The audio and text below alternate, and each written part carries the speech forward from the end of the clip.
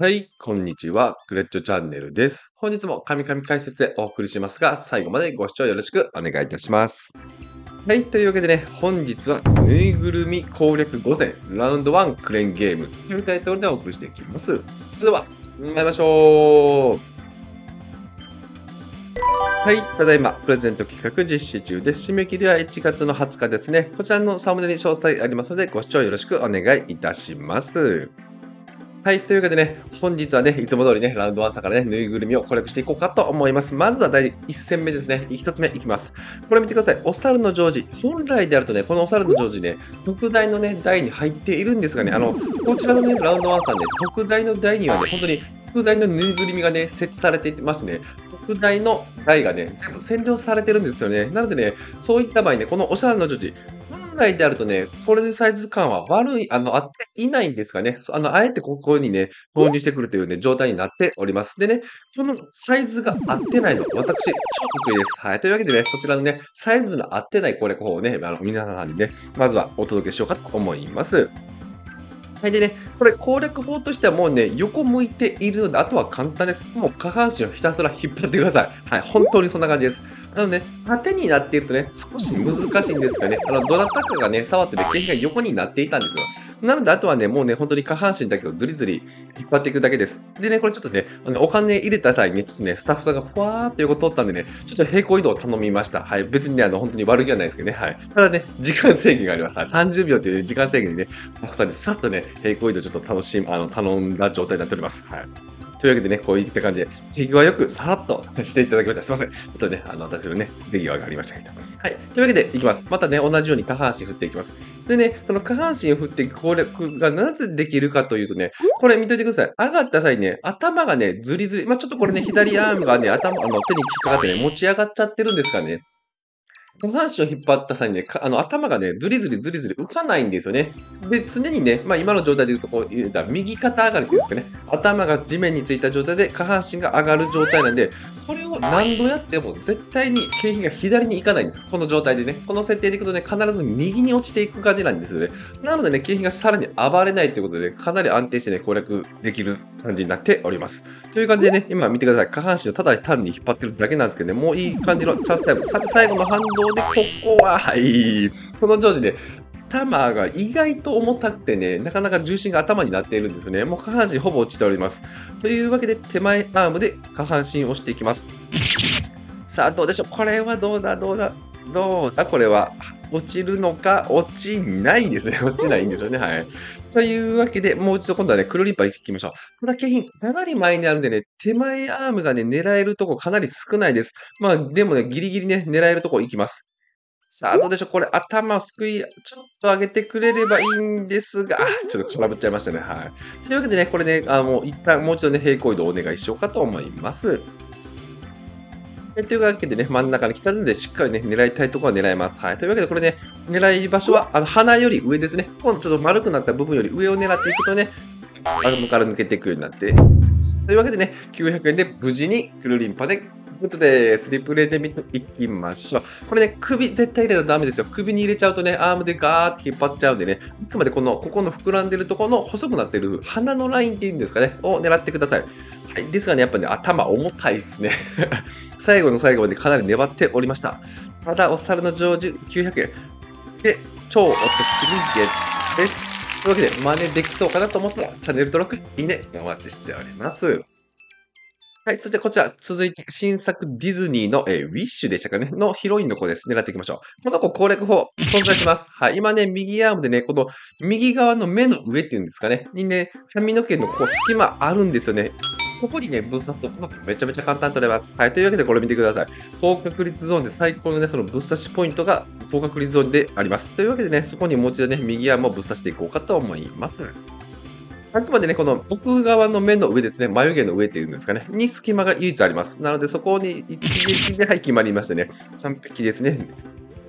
狂いのないアームコントロールでここにぶっ刺さって、さてどうでしょう高確率音が引き上げてこいはい、無事にマッチがぶっ刺してで、スローリプレイで見ていきましょう。簡単ですね。でね、爪の角度も比較的ね、パワーもありね、いい感じに、ここからスースースーとですね、一気に持ち上げてきて、そのままドンですね。はい。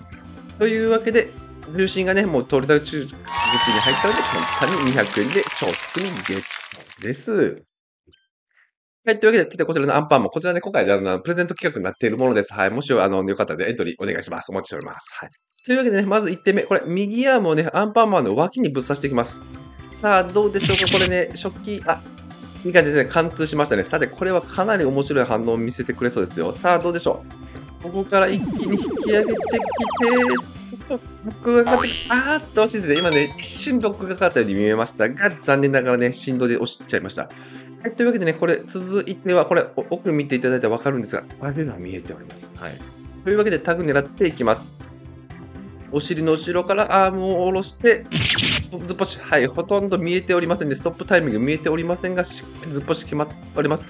そして、高確率ドンとまでを言わないか、さあ、どうだ？やはりそうなりますよね。うん、そうっすよね。やはりね、タグの位置がね、かなり奥にあったんでね、やっぱ力がね、左上にこう逃げていきましたね。はい。ですが大丈夫です。ここまで来たんでね。はい。というわけで、ここも下半身をね、あの、いこうかと思います。頭をして下半身を振るんですが、さあ、どうでしょう？あっと、これ微妙。ちょっとシールドから落ちてますね。やばいですね。はいはい。ですが、可動域はあるんでね、届きます。はい。というわけで、続いては、えー、タグ狙っていきましょうかね。お尻にタグがあるんでね。さて、どうでしょうこれでね、タグでググってね、下半身振ることができれば、突っぽし決まっております。ちょっと見にくいですが、突っぽし決まっております。さて、ここから下半身を一気に振ってこい。あっと。アームが揺れすぎて一瞬で抜けちゃいましたね。はい。でもいいんです。抜けたらまた入れればいいだけです。というわけでもう一度入れましょう。もう一回ね、僕アームで狙ってきます。さあ、どうでしょうか？ここも。はい、ずっぽし決まっておりますね。さて、どうでしょう？ここからずっぽし決まって、さすがに下半身は振ってこれると思うんですが、さあ、来い。うーん、微妙。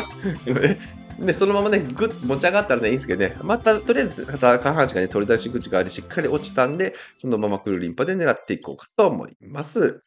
さあ、どうでしょうか。これもね、アームサイズが大きいんでね。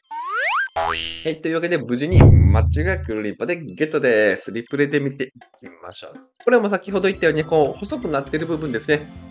ここで言うと鼻より上ですね。目のラインアームサイズがね、これ大きいんでね、まあ頭もすり抜けるイメージたくさんちょうどできますよね。はい。というわけでね、パワーもしっかり入っていたので、まさかの600円で超お得にゲットです。はい。というわけで、すごいね、これチャンネル登録、いいね、お願いします。3戦ですね。続いて4戦目いこうかと思います。こちら見てください。少し前の景品になるんですがね、リュック系なのになぜか紐が丸出し。というわけでね、騙されたと思って、まずは右アームで引っ掛けております。さあ、どういった反応を見せてくれるでしょうか？はい、かなり一気に来ましたね。はい。行きました。続いてね、これね、フリップしたいんですが、このカイさんね、意外とね、幅があるんでね、アームサイズがちっちゃいんで難しいです。というわけでね、ね手前アームで落ちていきます。まあ、しっかり乗ってるんでね、景品が。さあ、です。で、これ微妙でしょ微妙ですぞ。さあ、どうでしょうここから、はい、無事に、違う押しで、ちょっとね、スリプレで見ていきましょう。まあ、これはね、騙されたと思ってやってみてください。皆さんね、あの、リュック系の紐掛けは。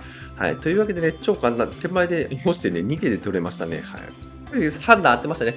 多分、黒リムするとね、ミスってる可能性もあるんでね。はい。というわけで、えっ、ー、と、貝のリュックですね。無事に200円。超お得にゲットです。はい、というわけで、続いていきます。最後、ラストの5戦目いきましょう。こちら今ね、ラウンドワンサーで展開されているね、ディズニーの方ですね、あの、ピノキオのね、キャラクターですね、を狙っていこうかと思います。これね、私、これを完全に確立しております。これね、とりあえずね、帽子かぶってるんで、そこにぶっ刺していこうかと思います。今のはね、あえてぶっ刺しておりません。まずはね、頭を振って、あの、景品がね、真正面、あ、まっすぐ向いてる時にね、ぶっ刺すとちょっと微妙なんで、角度がついてからに刺す方が、こう、引きずりやすいという状態になっております。というわけで、今度、右アームでぶっ刺し、サードでしょ。決まりますね。ぶっ刺し決まります。ついてますね。さて、ここからどういった反応を見せてくれるでしょうおっと、これ奥に行き過ぎちゃったんですが、よく見てください。これね、あの、ディスプレイに景品ちょっと当たってるんですよね。これ結構ミソでね、あの、本当景品がね、こにない場合はね、景品、あの、ディスプレイがない場合ね、景品がこう向こうに転がっちゃって終わるんですけどね、ディスプレイでね、景品がね、まだシールドで生き残っております。